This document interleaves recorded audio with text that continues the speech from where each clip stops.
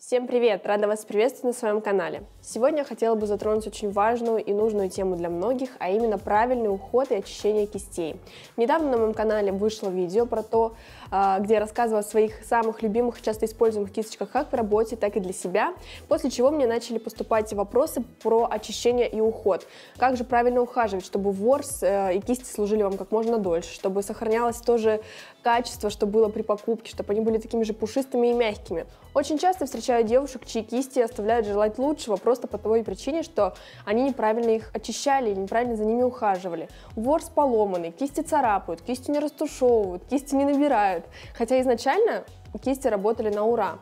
В чем же дело? Спрашивают меня девочки. Конечно, это дело в том, что вы неправильно за ними ухаживаете. Когда я начинаю разбираться, как, чем, чем вы их мыли, как вы их сушили, выясняется, что все было неправильно. Соответственно, кисти через год, даже бывает меньше, выходят из строя, и, ну, к сожалению, это уже никак не исправить, и приходится покупать новые.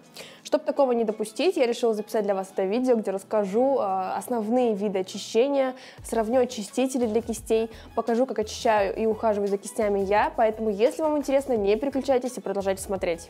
Итак, давайте начнем, наверное, с основного и с э, того состояния, в котором кисти ваши больше всего проводят времени, это в том, как они у вас хранятся. Итак, у меня кисти всегда стоят на рабочем столе в открытом тубусе. Закрываю я его крайне редко, только если куда-то еду к невесте на съемку. Или если я, например, улетаю по работе, то, конечно, я тубус закрываю и перевожу их, в, грубо говоря, темном для них состоянии.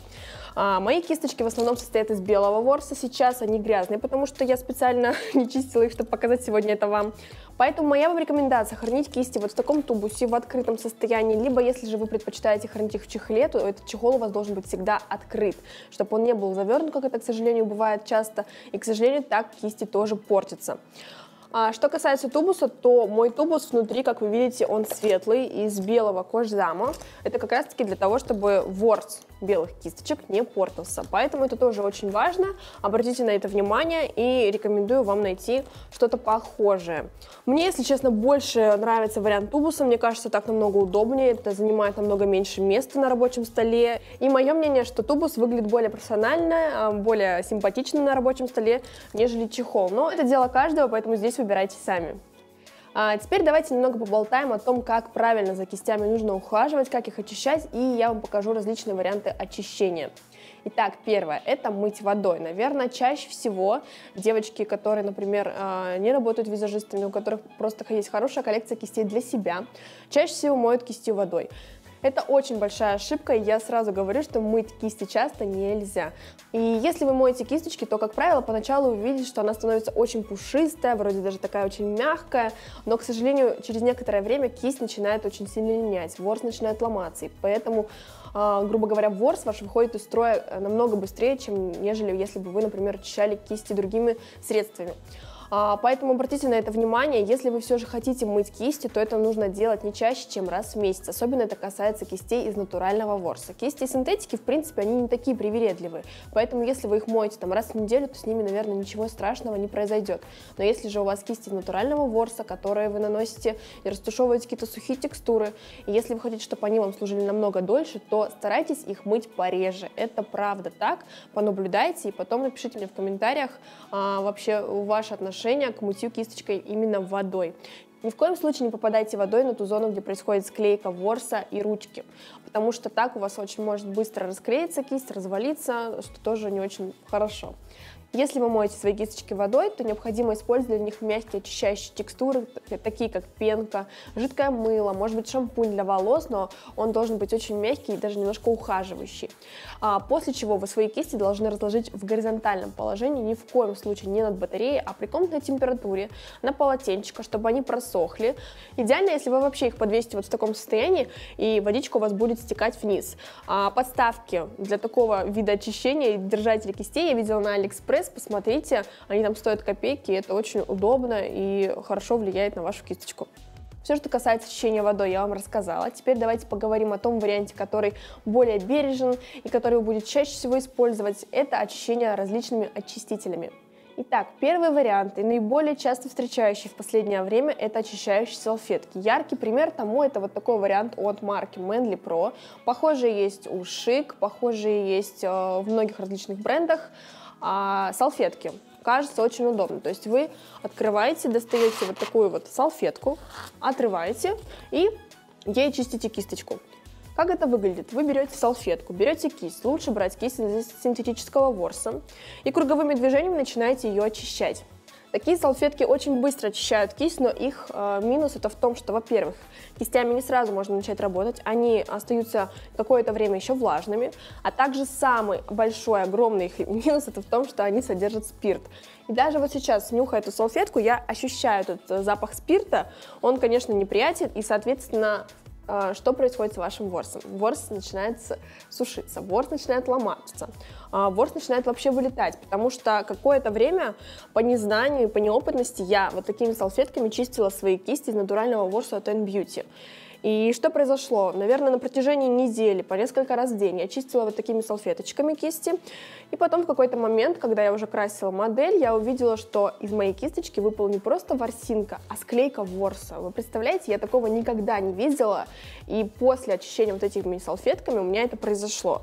Конечно же, я сразу поняла, в чем дело, потому что я слышала, что нужно очищать кисти бесспиртовыми средствами а это как раз-таки самое, что есть спиртовое очищение, поэтому я вам не рекомендую это к использованию. Если же у вас, например, есть очень большое количество кистей из синтетики, и вам их не жалко, то можно чистить этими кистями, а, либо же использовать их не так часто, как, например, делала это я. Но факт есть факт, многие со мной согласятся, что после очищения кисточками вот такими спиртовыми салфетками вор становится намного жестче, даже синтетически. Поэтому я их не рекомендую, потому что многих покупают из-за цены, что их много, это экономично. На самом деле это не так экономично.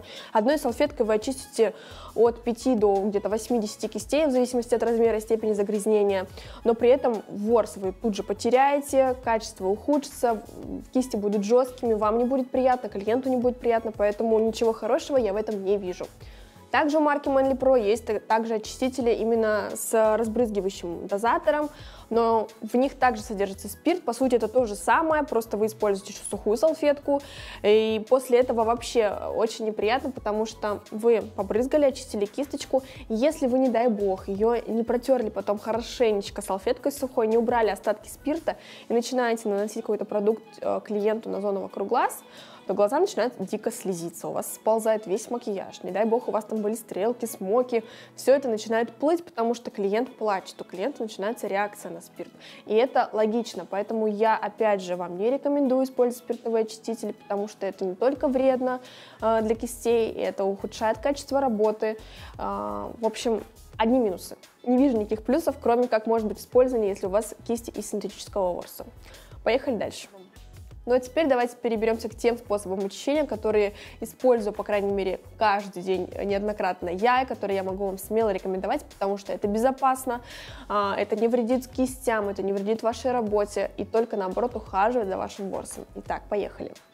Наверное, самый знаменитый очиститель, который э, вообще присутствует в сфере визажистов, это вот такой вот Make Up Forever. Раньше он выглядел немного иначе, он был в прозрачной тубе с э, распылителем. Сейчас они сделали ребрендинг этого продукта, и он выглядит теперь вот такой вот алюминиевой упаковке.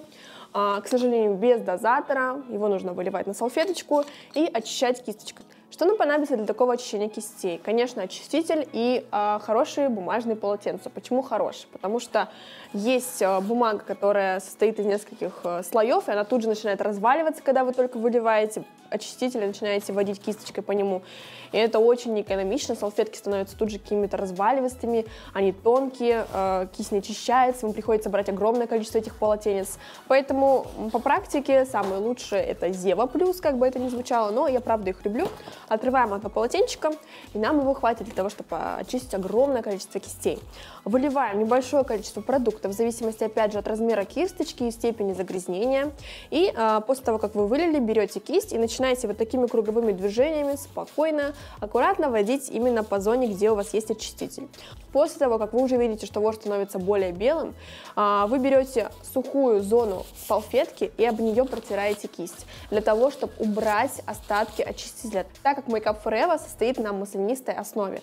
Если вы не сделаете это, то кисточка будет сухая, вы наберете продукт, и когда вы только перенесете его на лицо, у вас все поплывет, у вас будут пятна, у вас будут разводы, потому что масло, оно не высыхает, оно не впитывается, его необходимо обязательно оставлять на салфетке по несколько раз, потому что очень часто вижу, как новички, которые по незнанию э, набирают продукт, оставляют его на лице и потом не знают, что с этим делать. Поэтому Make Up Forever тоже нужно знать, как им пользоваться, но он очень хороший, он ухаживает за кистями как раз-таки из-за того, что в нем содержится масло, ворс становится мягче, ворс тут же очень быстро очищается, и плюс в том, что вы тут же можете ими продолжать работать. То есть вы вытерли, убрали масло, кисть сухая, кисть чистая, спокойно можете продолжить свою работу. Итак, минусы этого очистителя. К сожалению, у него очень маленький объем, всего 140 мл, и при моей интенсивной и частой работе мне хватает его совсем ненадолго. Его приходится очень часто покупать. А, к сожалению, его также часто бывает нет в наличии, потому что он очень популярен, и все его разбирают моментально. И еще один основной минус его – это цена, потому что при своем объеме стоит он порядка полутора тысяч рублей, без скидок различных, со скидками, наверное, 1200 на мой взгляд, у этого продукта завышенная цена, небольшой объем, поэтому он не очень экономичен. И давайте покажу вам, чем я сейчас сама пользуюсь, что мне очень нравится, что я могу вам смело рекомендовать. Это вот такой вот очиститель от марки Esti. Как видите, у меня он в очень большом объеме, потому что при моей работе интенсивной мне нужно вот что-то, по крайней мере, хотя бы такое. Здесь 500 миллилитров. Стоимость такого продукта 1990 рублей. Я вам напомню, что Make Up Forever 140 миллилитров без скидок стоит примерно 1450, а здесь 500 500 за 1990. Это уже пол-литра очистителя, который а, мало того, что он бесспиртовой, мало того, что он не пахнет, так он еще действительно ворс кисточек делает намного мягче. Я не знаю, с чем это связано. Раньше, когда я очищала кисти только Make Up Forever, я думала, что ворс становится мягким, потому что в нем есть масло. Здесь масла нет. То есть вы очистили кисть, потом обязательно, конечно, сухой кисточкой вы еще раз протерли до полного высыхания, чтобы кисть стала точно сухой, и начинаете продолжать свою работу. И при этом ворс становится еще мягче. Мы сравнивали с моими девчонками два этих очистителя. Я наносила Make Up Forever, очищала кисточку из одного и того же ворса. И Эсти я очистила эту же кисть потом. И после Эсти, я не знаю почему, но ворс действительно становится мягче, как-то более такой прям блестящий, ухоженный. Не знаю, как это работает. Плюс а, здесь еще заявлено, что этот очиститель убивает до 99,9% бактерий различных, которые могут а, собираться в ворсе. Это тоже очень круто, это полезно полезно для работы именно визажистов, то есть вы можете своих клиентов обезопасить, сказать им, что никаких бактерий, ничего не переживайте, мы ворс обработали, продезинфицировали, кисть при этом чистая и не пахнет спиртом, как э, это бывает, например, при чищении салфетками, которые тоже дезинфицируют. Этот очиститель идеален для кисточек из натурального ворса, высококачественных, например, таких как Beauty, Tom Ford, Чекухода, Хакухода, то есть кисти, которые действительно дорогие, за которыми следует ухаживать по-особенному. Я вам смело могу рекомендовать Эсти. Также, конечно, вы можете очищать этим продуктом а, синтетические кисти, это точно не повредит. Также я знаю, что у них есть еще очиститель, который есть на спиртовой основе, он, по-моему, розового цвета, но я не стала его приобретать, потому что, на мой взгляд, спиртовая основа для кистей, она только вредна, поэтому я сразу купила несколько вот таких вот баночек без спиртового. Он немножко подороже, но это того стоит, и если сравнить, например, с конкурентами, то цена очень-очень даже хорошая. А, давайте покажу, как работает этот продукт. Мы также с вами берем бумажное полотенце, либо ватный диск, но ватный диск, если честно, мне не очень нравится, потому что вата начинает как-то линять, собираться на ворсе. С полотенцем все намного проще. Вы открываете, очиститель выливаете небольшое количество, Берете кисточку и вот такими круговыми движениями точно так же начинаете протирать. И, как вы видите, кисть очень быстро очищается. А, после чего обязательно мы с вами протираем сухой частью салфетки кисточку, убираем остатки для полного высыхания ворса. И, в принципе, вы можете продолжать работать дальше, потому что все, кисть сухая, кисть чистая, кисть а, мы обработали, обеззаражили, никаких бактерий, никаких а, заражений не будет. Поэтому, на мой взгляд, для работы это идеальный вариант, потому что это экономично, это безопасно, плюс он еще и очищает очищает э, отлично ворс до идеального белого состояния. И, конечно же, то, что он дезинфицирует, это тоже очень круто, потому что в Make Up Forever, к сожалению, дезинфекции никакой нет. Приходилось использовать дополнительные средства. Также плюс большой этого продукта в том, что у него есть несколько вариантов объема. Есть вариант объема 100 мл, есть по 250, есть вот такой, как у меня, по 500. Например, когда я полечу с мастер-классом в Москву, я, например, не буду брать с собой объемом 500 мл, я возьму, конечно же, поменьше, потому что мне его хватит, я не хочу вести э, большой объем, чтобы не было дополнительной тяжести. И это очень удобно, что у вас есть выбор. Поэтому для меня это плюс. Э, выбирайте свой объем, который вам нужен, цены очень доступны, посмотрите, почитайте отзывы. Надеюсь, что мои рекомендации были для вас полезными. В этом видео я рассказала о тех продуктах, которые я действительно долгое время тестировала, которые я сама попробовала. Как вы видите, если вы смотрите за мной в Инстаграм, то на моем столе рабочем всегда есть очиститель как от Essie, так и от Makeup Forever. Поэтому все отзывы, которые я сегодня оставила, сложны из моего опыта. Надеюсь, что видео было для вас полезным, потому что уход за кистями это очень-очень важно, тем более, если вы визажист. Ну а я благодарю вас за то, что вы посмотрели это видео. Всем огромное спасибо. Желаю всем хорошего настроения и пока-пока. Увидимся в следующих видео.